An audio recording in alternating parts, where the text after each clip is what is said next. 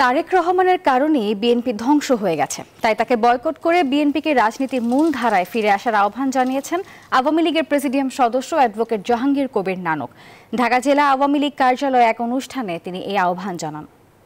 বাংলাদেশের হাজার হাজার কোটি টাকা যে লোপাট করে মানি লন্ডারিং করেছিল, সেই টাকা এখন তিনি উপভোগ করেন।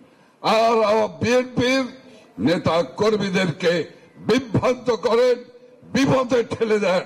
কাজেই আমি বিএনপির বন্ধুদেরকে বলব, তারেক রহমানকে তালাক দিন, তাকে ছেড়ে দেন, রাজনীতিতে ফিরে আসেন।